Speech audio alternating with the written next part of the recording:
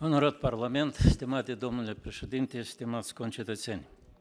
La 24 februarie curent, toată lumea civilizată a fost șocată de agresiune nemotivată a Federației Ruse împotriva Ucrainei. Azi, toată lumea civilizată admiră eroismul poporului ucrainean care ripostează aceste agresiuni.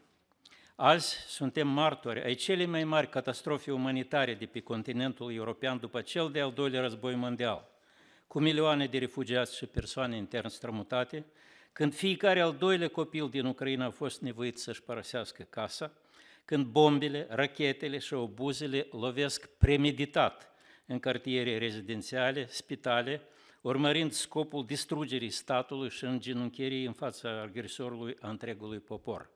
Azi, toată lumea civilizată este cutremurată de masacru de la Bucea. Și apare întrebarea firească. Cum de așa ceva a devenit posibil în secolul 21, pe continentul care a suportat două războaie mondiale?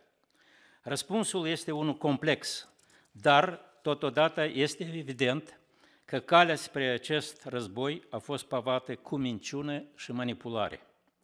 Suntem martori când canalele de televiziune, utilizate în calitate de instrument de un regim politic totalitar și xenofob, devin armă de exterminare în masă a demnității umane și a gândirii critice.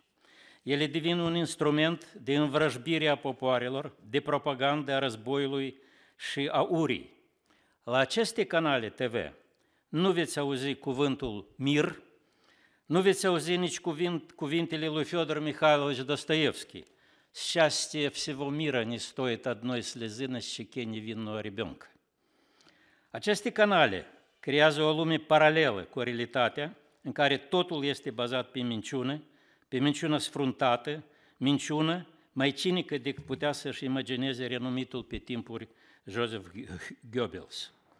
Marele actor și om al culturii Valentin Gaft, încă în anul 2015, a descris această stare la care este adusă societatea prin propagandă, prin următoarele cuvinte. Gnainic să zrel, лишь надави и брызнет, и потечет рекой кровавый гной.